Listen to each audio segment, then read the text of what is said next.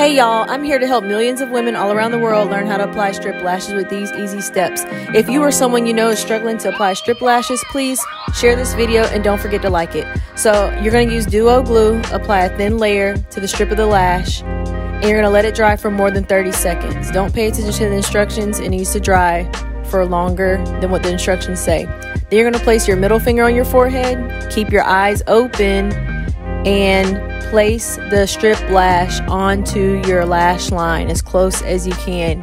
Keeping your eye open will help you place it in the perfect position. After you place the strip lash, you're going to use pointy tweezers to first secure the outer corner, then the inner corner. I like to do it that way first so I can make sure the lash is where I want it to be on the outer corner. And then I just use those tweezers to push the strip lash into my lash line. And that is it.